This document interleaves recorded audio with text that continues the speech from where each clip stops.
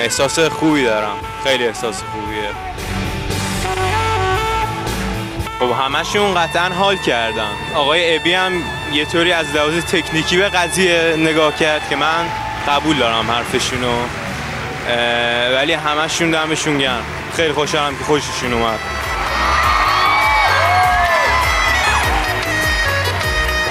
دوست دارم خبر رو اول به پدر مادرم بدم که موفق شدم توی این اجرا. و امیدوارم که اونا هم ببینم قطعا پدر مادرم خوشحال میشن.